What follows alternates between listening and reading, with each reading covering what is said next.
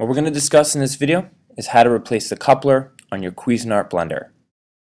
We're going to replace the Cuisinart coupler on this blender, which is that little black piece that spins the blades.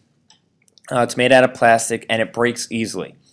First thing you always want to make sure is that your machine is unplugged before you open it up and start getting close to any electrical components. Once you've made sure that your machine is properly turned off, turn it upside down and locate the screws on the bottom housing. There's one in the back and two on the front near the feet of the blender. We're going to use a long Phillips head screwdriver. We're going to take these screws out individually and remove the bottom housing. Once the screws are properly removed, simply take off the bottom housing of the blender to expose the motor shaft and board. What you'll notice on the motor shaft is that there's an indent just long enough to put a flathead screwdriver in there. So that's exactly what we're going to do. We're going to take a flathead screwdriver, place it in the motor shaft so it will allow us to take the coupling off easily and simply. So once our Phillips head screwdriver is in there, we're going to hold it and make sure that it, that it doesn't move while we turn the coupling clockwise to remove it. Now some people, because this item is made out of plastic, you'll notice that once this is broken off, a gold piece is still left on the motor shaft.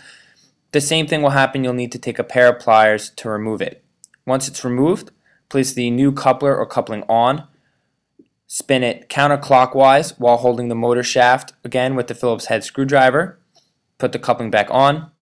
Once the coupling is properly back on, simply put the bottom housing back onto the top of the blender. Make sure that the cord is in place.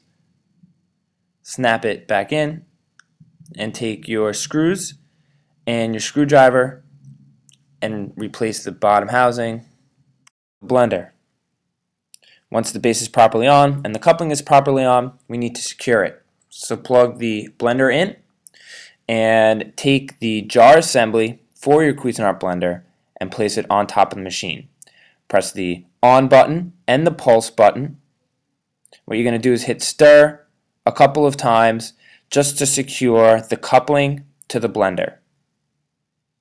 Once that's done, the coupling should be secure. You can properly take the jar off, unplug the machine, and you'll be ready to use your blender again. This has been how to replace the coupling on your Cuisinart blender.